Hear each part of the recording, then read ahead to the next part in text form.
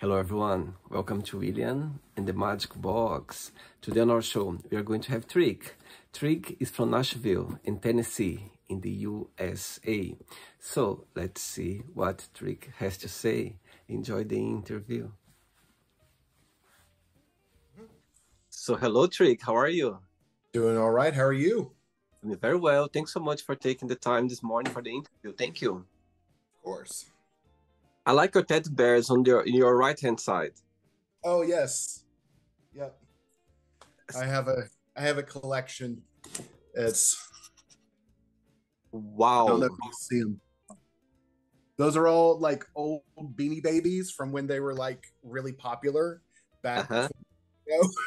and I've I've held on to them, and I still have them. And wow, so I, I, you always you always um you always liked those teddy bears yeah it's i don't know there's i like i like them they're cute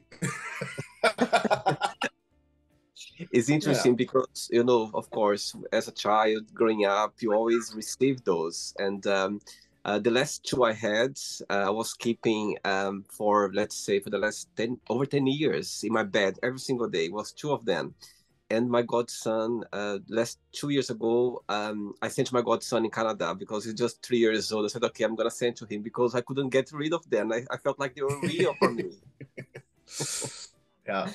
Yeah. And uh, you know and i i played with stuffed animals for a long time as a kid. You know i would make up stories with them and that kind of thing but they were taken away from me when i was seven because i was i was a boy and you know those aren't you know you can't have them anymore type thing so, whatever.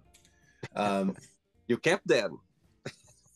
well, no, it's I don't have those from when I was a kid, though. But you know, as an adult, I started like collecting those, and there's you know, they're just a.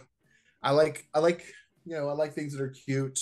You know, I got some little like little like oh. dragons there you know? And i actually have like tubs of of beanie babies upstairs that i don't even have out you know? So Trick, and i've not uh, bought any like literally i've not bought any in 20 years. I've just had wow. these and and had these you know for forever so. Amazing amazing. So trick tell me where you're from. Uh that's a loaded question. I live in nashville tennessee right now um, but I was a military kid. I was born in, in Kingsville, Texas, and lived in uh, Florida, Virginia, Tennessee, and California growing up. Went to 12 different schools, kindergarten through 12th grade. Wow. Uh, so moved around quite a bit. Um, so I really don't have like when people ask you where you're from, it's like, well, I live in Nashville. We'll just go with that. But because I really don't have like a place that I consider like I grew up, you know, because I grew up all over the place. So amazing. And do, do when you look back, do you see that for you it was a good thing to happen, or it was when you look back for you was something more difficult? Of course, like changing school, making new friends, sometimes can be difficult. Yeah, yeah. There, as an adult looking back, there there are positives and there are negatives. You know, positives it allowed me to meet a lot of different type of people, a lot of different, you know, areas of the country and different cultures. You know, going from small town Munford, Tennessee uh-huh. to San Diego, California, it's very, very different in those two places. You know, you have one place where there's like literally elementary, high school next to each other. That's it. And going, you know, out to California and it's lots, lots and lots of people in San Diego, you know, so it's, it's just uh, different and um, so there's you know positive being able to see all the different cultures. The negative is i didn't really develop the skills to build and maintain long-term friendships until i was much older. You know there's you can make friends all you want but being able to maintain those friendships um, that is a different skill set and that is something when you are in you know one school or a couple of different schools growing up you have that ability to build those long-term friendships you know you deal with conflicts and figure out how to navigate better and that kind of thing so um, I missed that out, on that as a kid. So I had to learn a lot of that by trial by fire as an adult. Um, but you know, it's it has given me the shape that I need to be where I am spiritually now. Um, so it was, you know, yeah, I would have loved to have grown up with people, but at the same time, it's what made me who I am now. So can't um can't fault it for that. Absolutely, I think you know those things in life. It just meant to happen, and uh, you know, with up and downs, with the positive and negative side as well. As a, when you can see as an adult that was part of the journey, it's that's how we accept it. And you have mm-hmm. siblings as well. What was that? Oh, I have siblings. Yeah, uh, I do have. Um, I grew up with two sisters, and I have an older half brother that I didn't learn about until I was 22. so, didn't even know he existed until I was 22 years old. Um, oh. And he's, you know, seven, eight years older now. Uh, you know, one of my uh, my sisters are eight and 10 years younger than me. Um, mm-hmm. The eight year younger sister did pass away in 2017. Um, so that's, um, you know, so how life goes sometimes, unfortunately. So. All right. Okay, so during the journey, I'm going to explore a little bit more about your life overall and also about your point of views. Okay. Okay. So, Trick, before we start our journey within the magic box, I can see behind you, like very visible, yeah, Madonna. Wow. of course. I can see here, I can see three, you know, three big pictures of her. Oh, five actually. Six, seven, eight. Wow. They're actually they're actually records. Those are 12 inch record. Absolutely. Um, you know, the, okay, so so let's start the interview talking about you know this fascination, this love about Madonna. Well, I I was once told that every gay man has a diva, and Madonna has been my diva. And granted, you know there are other female musicians that I hold in high regard, like Dolly Parton and Janet Jackson and you know others in that ilk. Um, but you know she's the one that that I connected with early, and I followed her career, and I've a you know appreciated how she's always been there for the gay community. Um, she you know uh, and really was forefront in pushing you know for AIDS research and making sure that HIV, you know, was not forgotten about. Um, you know, even in you know the 80s when a lot of other people were trying to shove it under the rug, she was talking about it and bringing it out. So um, I know she's a lot of people kind of see her as the punchline nowadays. I mean, she's 65 years old, you know, and um, a lot of people are like making fun of her recent plastic surgery, but if you see the pictures now, she looks fantastic. She just was showing you the process of each step of healing from those kind of surgeries. But now you see her in the concert, she looks great.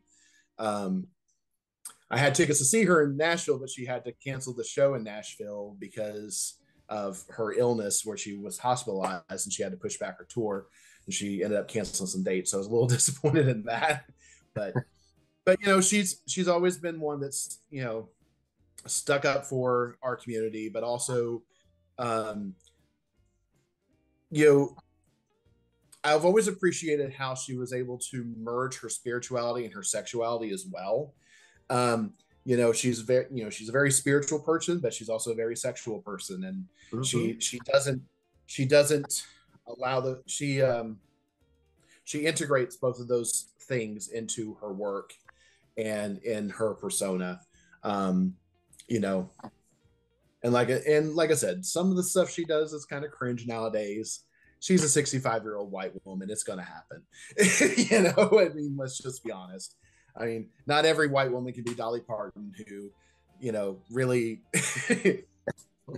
isn't you know there's not Dolly is a saint, so there's a whole different thing with that, you know. So, you know, and anyway, I can go on about Dolly Parton. yeah, I think she's Madonna. The, Dolly Parton is the one thing in Tennessee that unites the entire state, be them, you know, progressive, conservative, race, gender.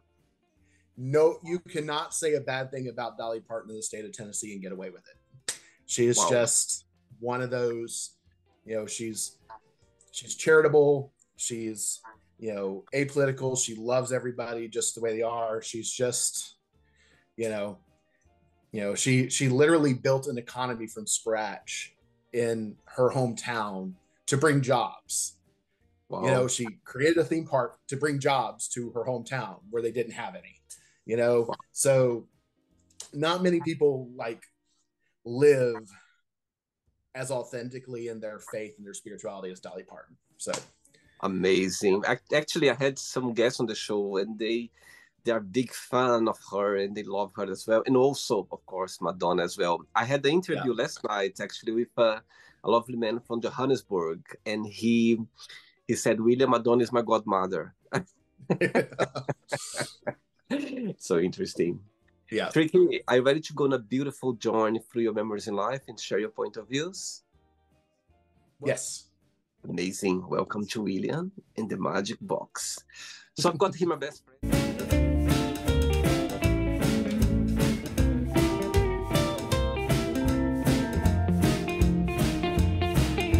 Full of random fun questions, okay? I'm just gonna play a song now just for us to relax a bit before the first question, okay? Okay. Let's do it.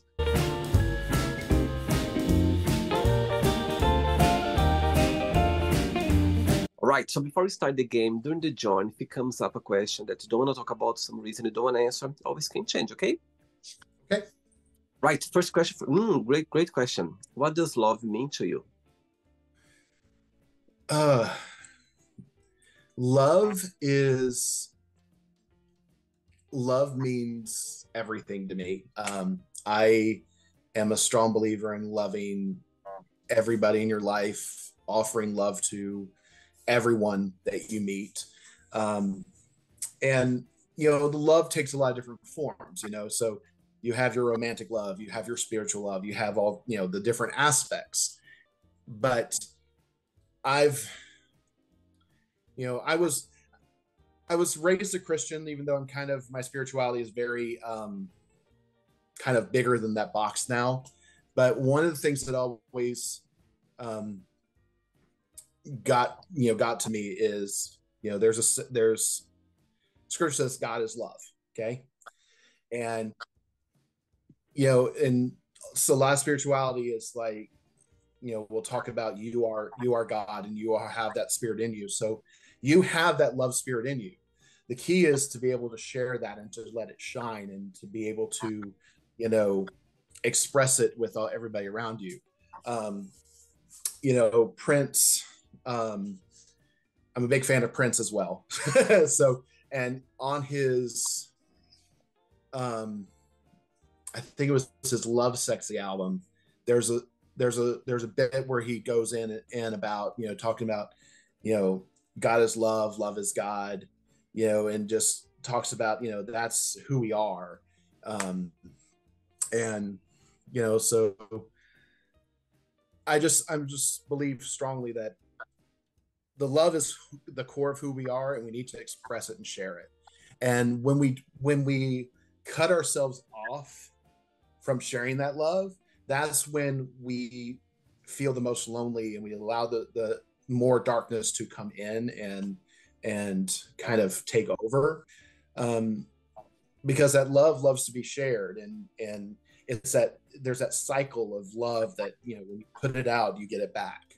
And you know and even if you put it out and you do not receive it the way you want you're still putting it out. And you're you just keep putting it out and you'll find that that energy will find the people that will give you what you want back and and and how that love it goes. And i'm once again not just romantic but spiritual. And you know when you are kind of living in that flow those right people are attracted to you because they feel that energy and they feel like that there's something there with you and they they want to be nearer that love and they want to share that love with you. So um so it's kind of my take on love. It's kind of you know kind of a little out there some a little bit but that's I, just i uh, totally with you. I think love you know there are different kinds of love and all of them it, when they have this feeling come from this beautiful gives butterflies give you you know sometimes you know these emotions i think when come from that place. Doesn't matter which kind of love this is the real love and it can go different directions. That's how i believe as well next question let's do it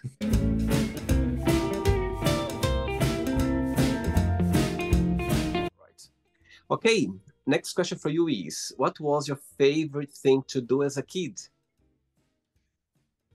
ooh um well, it would depend on where I was living because different yeah. places are different different things. Um, but I know when I lived out in the country uh, in Munford, Tennessee, my favorite thing to do was just get on my bike and ride, and I would just you know ride wherever. Um, you know that was one of my favorite things there. Uh, in California, my favorite thing was like there we lived in military housing and we were mm. like on the side of like canyons. So wow. even though we weren't supposed to, I would hop the fence and like go into the canyon and just kind of like the nature thing of it. Um, you know, so that was I enjoyed that a lot. Um, but a lot of uh, the thing that I always that I always came back to, no matter where I was, was my obsession with music. Wow. And uh, listening to listen to music, and you know, you know, Madonna was one of them, but I was also a big Debbie Gibson fan when I was a kid. Uh, you know, you know, so um, because I think her first album came out when I was like six or seven, something like that. Uh, so you know, um, I had cassette singles. I'd go around with my Walkman, and I had a record player, and I had 45s. Walkman, you know, remember Walkman? Oh my god. Yep. yep. And I had uh you know little 45 records like let me just pull one up. Yeah, like 45 records. Wow. Um, so um but that I would you know listen to so and I would you know there was just it was kind of my escape and and I've always you know now I collect music. I have over 6,000 pieces wow. in my collection between records, CDs, and cassettes. So, wow. Um, and I actually have a podcast where I talk music too. So it's kind of really. Oh, I have a podcast. Yeah. It's called Tricky Notes. Oh my god! I didn't know that wasn't wasn't. I don't know if it was in your profile. It couldn't. I don't think it was there. It's not because I I it went on hiatus and I just am relaunching it like now. I see. Okay, like, amazing. Like, yeah. So I've thought about like doing a YouTube channel with it too, but I, I can't figure out how to do that yet. So we'll see. But amazing. But I just love talking about music and like the different stuff I do and expose people to different music that they may not have heard of. You know, stuff I like to do. So music, it's like I can't live without music. I don't have a collection as you. I don't collect music, but I, I music is around me like for the day, for the night. I'm always with music. It, it brings me good energy. It brings me this, um, you know, well thoughts. As Madonna say, music makes them beautiful. yes.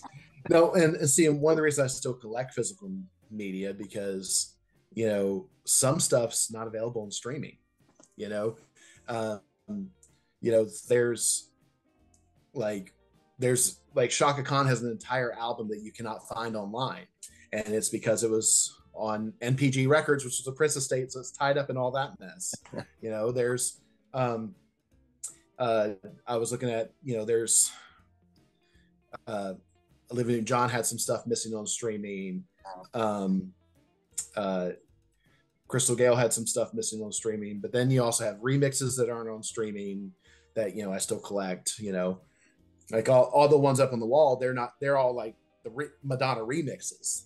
You know, the from the you know the 12 inch remixes. So you know, it's not all those are on streaming. So I still collect you know, because and there's you never know when something's going to be pulled off streaming. You're not going to be able to see it, you know, have it. So I, I like I like the fact that I, you know, having that ownership and be able to, and I can still share it, you know. So amazing, very good. Ready for another one? Yep, sure. Let's, Let's go. It. Next question. hey, next question for you is if you could be in somebody's place, in somebody's skin for 24 hours, who that would be and why? You know, I I don't think there that I would because I, I, you know, everybody has their own unique journey and their their own thing, and even just stepping in for a day, you're not going to have all that context and that you know what made them who they are today and what got them where they are, and you know, and sometimes if you do know that history, sometimes you know people change and people grow and and all that. So I'd rather just let people show me what they want to show and let people do instead of swapping with somebody. I love your answer. Amazing. Next question, let's do it. Hey, Tricky, before the next question, tell me um, how is being gay in Nashville? What, uh, in your experience, uh, do you think it's a safe place to be? People can, you know, be their true self. Um, and mm-hmm. the other part of the question is, what's the postcard of Nashville? If I would come to Nashville for the very first time, what's something that I should go to see it? Oh goodness, that's such a so. I do think Nashville is a fairly safe place to be out and be open. Um, not everywhere in the state of Tennessee is, unfortunately. Mm-hmm. Uh, but for as far as Nashville, um, and there are a few other cities in the state, you know, you can be yourself, and, and there is um, a pretty wide, uh, wide community in Nashville with a lot of different interests. Uh, you have your softball, you have your volleyball, you know, you have your sports, your rugby, and all that you have your leather group you have your music groups you you know there's a lot of different places that you can fit in and you can find a space um, but you have to be willing to seek out that you know um, so but as far as like like a postcard of nashville um, it depends on what what you like because uh, one of the um, we do have an infestation in Nashville of roving bands of bachelorette parties in downtown Nashville at all times of the year. And these, they just go in and they're just like, it's, they are all about themselves. And it's so you do have to watch out for them. and okay. I joke about them because they're just having a good time. But you know sometimes they don't realize that other people are like living around them. They're just kind of in their own little bubble. So i'm i'm very happy that they get to celebrate. They just uh, need to be a little bit more aware. Um, but you know so like you know broadway and all that is is kind of like the tourist destination of nashville. That's where all the honky tonks are. You know lots of music and all that great stuff. But if someone were to um, if I were going to give someone a tour of Nashville, I would take them to other places. I'd take them to the Parthenon, um, which is amazing. We have like a full replica of the Parthenon from Greece in downtown Nashville. Wow. just, just, and you know, there's a story behind it. I'm not going to get into it, but, um, but it's, it's like literally, I think it's only like three quarters of an inch off like the full Parthenon from Greece. Um, oh but I'll also take them to places like the Loveless Cafe, which is a fantastic restaurant that's kind of, you know, that is very touristy, but it is worth going to.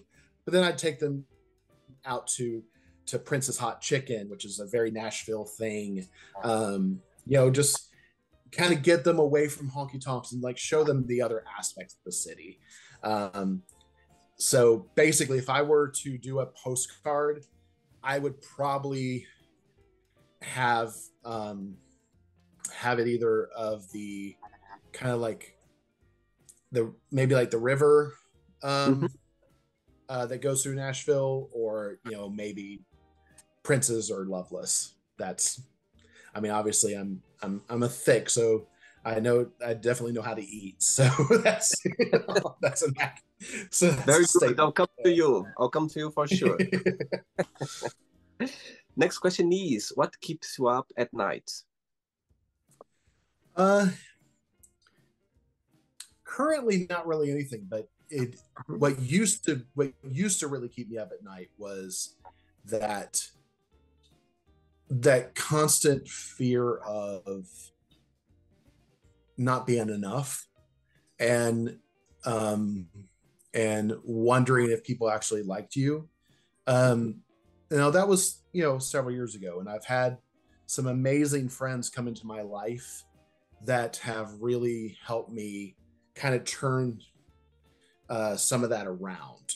Um, one of those is um, is is a guy named ray dalton. Uh, he is a you know uh, adult performer and does you know porn and all that stuff and um, he he him and I have become very very good friends, and I help him with his his business, which um, is called Fornication, and he puts on drug free sex parties around the country to wow. give people a, a place to where they can you know have fun without without the drugs in the community being a, being an issue. And it's a safe place where everybody's loved and accepted who they are. So by the there's a little aside for Ray there, but um, you know, people like him came into my life and helped me really see the beauty I wasn't seeing.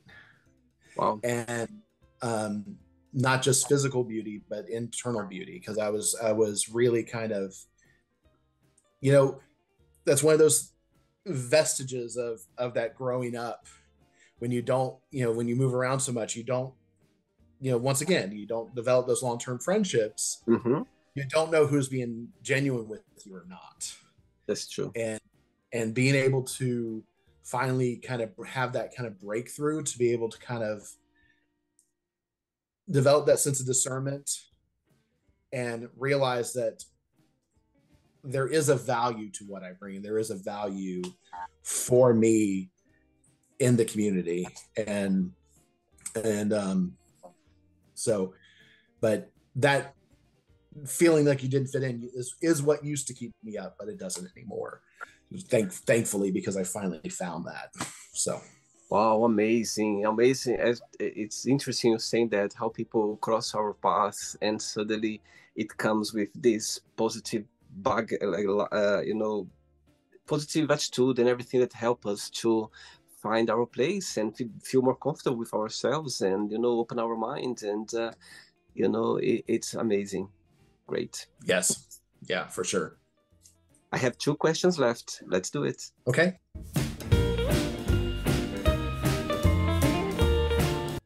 Before the next question tell me the very first time when you saw Madonna like on TV or in a video clip that you went like, oh my god, who is this? When when starts your Ooh. love for her that you go like you went, you got straight away attached to her? Do you remember? I don't remember exactly what it was, um, but I do remember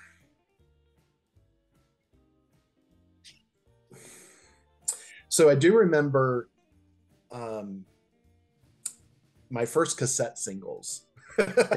so, um, you know, so so what? Just kind of give give a history. So you had your 45 records, you know, the small seven inch records, and all the singles used to come on those. You could buy just the one song. Okay. Well, once records were starting to phase out, and before CDs had really taken off, they came out with cassette singles. So they were little cassettes that have one song. Yeah. And, you know, so I've got my collection of them over there. Um, and I still have this particular one. But uh, my, my first three cassette singles were Donny Osmond, Soldier of Love, Bette Midler's Wind Beneath My Wings, and Madonna's Like a Prayer. Oh. And Madonna's Like a Prayer real of those three. You know, they're all three good songs. Um, but that like a prayer just really stuck with me. And then she followed it up with express yourself and followed it up with cherish and you know, and then keep it together and Vogue. It's like it was just like this escalation of like, okay, I liked her before, but now I really, really love her. You know, I was I was what 10 at that point. uh, you know, nine or 10. Um I can't remember what when it as I know it was like a 89, so I would have been 10. Um but you know, just that era of Madonna is what really kind of solidified. And then, you know, I got the Immaculate Collection and um and unfortunately my parents wouldn't let me get erotica, but I would sneak it behind the but you know, I still enjoyed the the songs on it and and all that. So, but they did let me get bedtime stories, which was the one after that, because they did let me get they uh, did get me the cassette single for Secret when it came out. Um, so I had that. Uh, so, but yeah, that's kind of it's kind of what uh, it's not necessarily an event, but it's an era. If that makes I sense. All right. Next question is What is the best advice have you ever given? I think the best advice I've ever given somebody else is to breathe and relax and not fret the small stuff. Um, another aspect of me, which is kind of um, the lucky bear, is kind of part of who I am. Is I actually do I actually read cards. It's kind of like you know not tarot cards, but in that same thing. So there's, you know, through that, I've been able to like kind of coach some some people through some stuff they're going through, um, and you know, and and that kind of thing. So, but you know, things that have come up during that, you know, are usually between me and the me and them. But one thing that's come up over and over again is, and I kind of harp on this we are all given specific talents and gifts by God, universe, whatever your belief system is. Okay. Random chance if you're an atheist. Okay. but each of us has certain gifts and talents that, that are unique to us. And every one of those gifts and talents are designed to make the world better. And you may question that because your talent might be making a cake and you may make a tasty, beautiful cake. But you think about, well, that's not making the world, that's not making a big difference in the world. But it is because you're bringing joy through that. So whenever you're using your talents, no matter how big or small they are, you feel that you're in the right place, that you get that you get that positive energy when you use those talents for the right way. And one of the things I'm always like coaching people to do is to embrace those talents, to use those talents. And you know, you know, you may, like I said, you may make a cake, but you know, you may have a beautiful voice and you may, you know, sing and all that. Just because you, you know, not every great singer is meant to be uh-huh. a Madonna, you know, or you know, Madonna's not the best singer. I, I admit that, but they're not a Mariah Carey. you know what I'm saying? You know, and but but still, if you have a voice that that can bring joy to somebody, using it, you know, even if it's in karaoke or just among friends, that vibration of using it really brings a lot to your life. And you know, and and and it's it's hard and, it, and it's like I, I can kind of convict myself on this because especially when you're some of your talents are in the creative realm there is this paralysis of perfection that sometimes comes in mm-hmm. where you you think it has to be perfect before you can share it and it kind of paralyzes you for for using it you know like if if you're a writer you write it doesn't have to be perfect because you know you're you know just write. Let it you know that's what editing's for. That's what that's all about you know? And if hey you make if you're amazing cook and you make one mistake while you're doing something that's okay. You don't have to doesn't have to be perfect you know? Because if you're putting your heart into it and you're doing what you're you're called to do and what your talents are none of that matters because you're in the right flow so if that makes any sense so absolutely, absolutely i think whatever talent you have it, it, when you just put it out it's people gonna gonna see it because they can see it's genuine. And, and as you said, it doesn't it does you don't need to be in the spotlight. It doesn't need to be anywhere. You just express yourself, and the right people to see would appreciate as well. Yeah. Yeah. And and like I said, it even like you know even like knitting a scarf, you know that may impact one person. Yeah. You know, but that's still a talent. Not everybody can do that. it's like I don't have the patience to do it. I admit it. but those that do, you know, there's there's something great that comes from that, you know, and it's just some people's talent is just be bringing that smile and that joy wherever they go. Absolutely. That's a gift. That's a talent, and you know that obviously has that ripple effect of bringing more and more joy and more and more happiness. So, very good. Ready for the last one? Sure. Let's question. Let's do it. Right, but before the last question, you mentioned about Prince. If you can pick just one song, your favorite song of Prince, which one that would be? Ooh. Just one. Yep.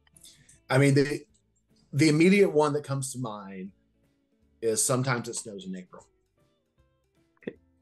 Um, you know, that's just the, the first one off the top of my head. Um, it is a beautiful ballad about loss and, you know, healing through that loss. Um, so that's that's that's it. That's that's the one. Amazing. Last question is: Is that a dream you always had? Is there a dream I've always had? You know, I've my dreams have have definitely changed throughout throughout the years.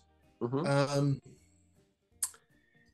and you know, right now, right now it's like I've been in such a slight transition space that like the old dreams don't make sense anymore, and I really haven't formulated new ones yet. If that makes any sense, you know, because okay. I because I really do love my life the where it is right now. Wow. I mean, amazing. I I have amazing friends in my life. Uh, you know, I've I'm tapped into I'm like start using my talents again in in some of my areas and you know, yeah, I mean there there's some things that that could be improved upon in my life. You know, I've been single for over 20 years. Uh you know, but um but anything that comes along kind of has to make sense and, and be right and you know so but i'm just kind of in that that transition period right now where i haven't built the new dreams if that makes any sense absolutely it does make sense absolutely it's a powerful place to be that's what i believe amazing yeah okay it's not the end yet let's play now the word association game okay i'm going to give away some words just tell me one word that comes to your mind quick thinking okay let's start with life life joy fear? Um, ignorance. Money. Necessary evil. Somebody said that not long ago. One word for love. Uh,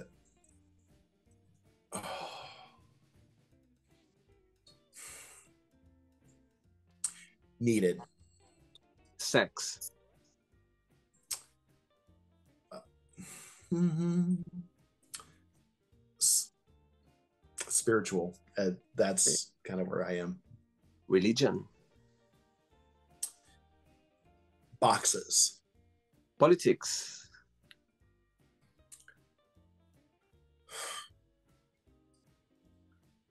Oof. Noisy. Friendship.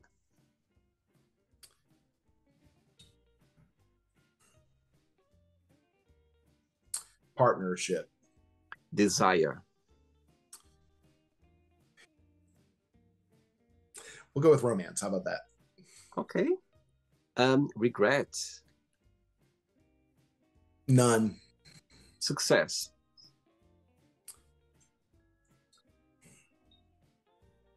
Peace. Wish. Reality. Happiness. Mm-hmm.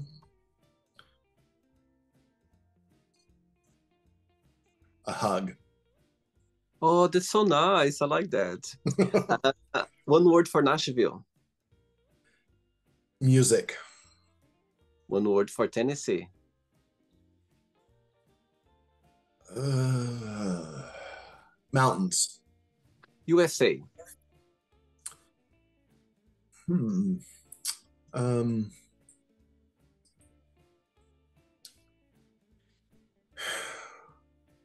Growing. One word for your podcast that you are relaunching now. uh, um, music. For some reason, I knew you'd say that. That's what it's about. So one word for Madonna. Uh, diva. And the last one now, music. One word. Soul. Beautiful. Let's pretend now I'm going to meet your best friend for a coffee, and I'm going to ask your best friend define trick in one positive word and one negative word only. What your best friend would say. Uh, they would say love for positive. Mm-hmm. And for the negative, they would say crazy. I like I like that. Let's play now trick and the magic box, and you can ask me a question. But before you ask me the question, tell me um, which was what was the last Madonna song that you listened, the last one. The the last one I listened to most recently. Yeah, you listened to yeah. Rain. I'll tell you my one. I because I had the interview last night with this lovely man from Johannesburg, and he's talk about Madonna, Madonna, and um, he talked about the music American Pie. And uh, today mm-hmm. I was coming back home. I was I was I was walking, and I just thought, oh my god, I would listen to it. And I put Madonna's uh, America. I haven't listened for quite a while actually, and it brought me so good, great, good energy. So yeah, that's my last one. Right, yeah. you can you can ask me a question now. Okay, so if you could only have one album on a desert island for the rest of your life, what would that album be and why? Oh my god! Oh my god! Oh my god! Which album that would be? You know what? Um, um, oh my god! I, it's so many music come to my mind right now. Too many albums. Um, you know, okay, I'm gonna go for the the last one actually that I was listen to. I was listen to. There was there's an, an album, um, Ministry of Sound, like a collection. Ministry of Sound is like I don't know if you if you know about it. It's like is is um they do like um um it's like clubbing, uh, different different kind of music. Mm-hmm. Um, so when I arrived in London, uh, Ministry of Sound, I remember a good friend of mine. He was listening a lot to those music and brings me uh, good energy. Um, it means you know those nostalgia moments. So I would mm-hmm. take one of these. Is like uh, this album is called Classic Ministry of Sound, the classics of the 2000s. So it brings so much joy for me and uh, brings me this nostalgia moment where I feel great. So it's difficult to choose, but I'm gonna go for this one because for the last let's say three weeks. I've been listening to some listen to it some, sometimes, and it is for some reason brings me this good energy. So I would go with it right now. But trust me, I would uh, for me imagine imagine for me it would be so difficult to choose one. Like imagine asking this question for you. My goodness, it would be quite hard to answer it. Oh yeah, yeah, because, because it will because it a lot of it does depend on what mood I'm in. That's the um, yes. That, I totally so, understand point. And for some reason, this album, um, it just showed on my on my uh, on my YouTube account, and I said, "Oh, let me click on it." And when I start clicking, you know, I can listen to songs like very often, like until I get a little bit of, uh, you know, a bit um, sick of it, and I come back again. So, but this album for the last month, it has been my favorite. So I'll take this one just for me to be able to have these nostalgia moments that uh, you know it, it brings me good energy. So yeah, for sure. Yeah, yeah, I definitely understand that. So, you know, because you know, because it's like for me, you know, it can, you know, I have I have my like top ten that I could easily do, but like figuring out which one I would take, like today I would probably be garbage version 2.0, you know, with you see lead, lead singer, and then another day it may be "Sounds Like a Prayer," and another day it may be Joni Mitchell's "Blue," yeah, or Dolly Parton's um, "Halo and Horns." You know, it just depends on. It depends. But I think those it, it, when they come to us, you know, when they for some reason it just you know we just connect again with the album, it brings this nostalgia moment, and that's the good feeling of it, isn't it? It it takes yeah. you to different moments in your life for different reasons, sadness, happiness, you know, melancholic, and we like that. We like for some reason we we feel those moments again in a different way. Yeah, so I think yes. that's that's the the great part. And for me, it's like that's one of those questions that that kind of gives me an insight of who you are, you know, because you know, because depending on like what kind of album you pick, you know, kind of gives me an insight on what what calls you, what drives you, you know. So that's just kind of how I think. So, did you enjoy the interview, Trick? I did. I appreciate the you the you making the time for for me with this. No, thank you so much. I appreciate your time and thanks so much for being so kind and sweet and bring this, you know, this music knowledge for the last few. you know, I love it. I love it, and I think it's great. Before you go, if you can share a positive message or anything that you live by. You know, just live authentically. You know, you are created to be who you are. Um, you know no matter what your belief system is you you know you're don't try to fit into these boxes that people want to shove you into. You're you're not shaped like a box. You're not going to fit in one. So just be yourself. Bring that joy share that joy. You know even if you don't feel the joy you surround yourself with people that fill you up with that joy and it will it'll come Amazing, very good. Good luck with your podcast starting out again. Okay, take it, take the best of it, enjoy a lot, and we keep in touch. It was a pleasure. Okay. It was a pleasure. Thank you. Take care. Have a great day. Bye bye. You too. Bye. Bye. Bye. So, did you like the show? Don't forget to give a like, share it, and also don't forget to subscribe to the channel. And if you'd like to be part of the show as well, first subscribe to our channel, and after that, just go to our website www.williamandthemagicbox.com and send us a request saying why would you like to be part of the show. And I see you there. Bye bye, see you next time.